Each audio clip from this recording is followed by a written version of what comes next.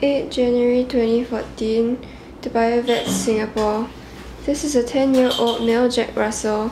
He is not bearing weight on his right hind leg. Okay, so this Jack Russell will be x-rayed later. What I do is I examine the the source of the lameness, starting with the digit. Now the digit is okay.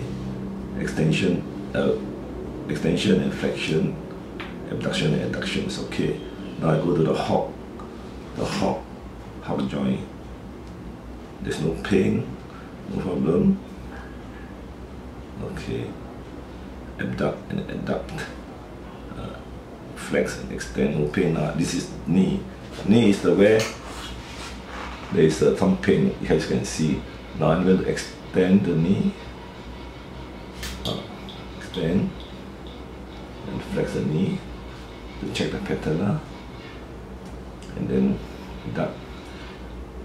Abduct yeah. Abduct abduct but uh, so far there's no pain. Uh, there's some pain here. Yeah, he's crawling away so we know the pain is here. It could be a an anterior cruciate ligament rupture now. But uh, I put the see whether I push forward the tibia or not. No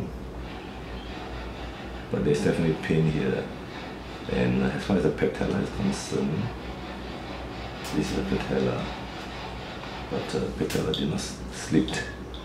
Okay, then now I examine the hip.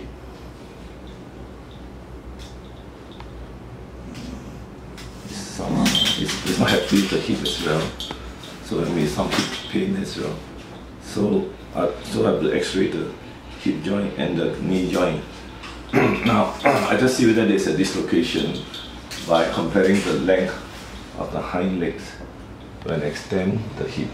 But the length is okay, but I think the Jack Russell is not happy. So now I will stop examination and take the dog for the x-ray. So in uh, examination for lameness, these are the joint manipulations you have to, you have to do before sending for x-rays. There's no point in, in uh, x-raying every joint from the toe to the hip because uh, it is unnecessary.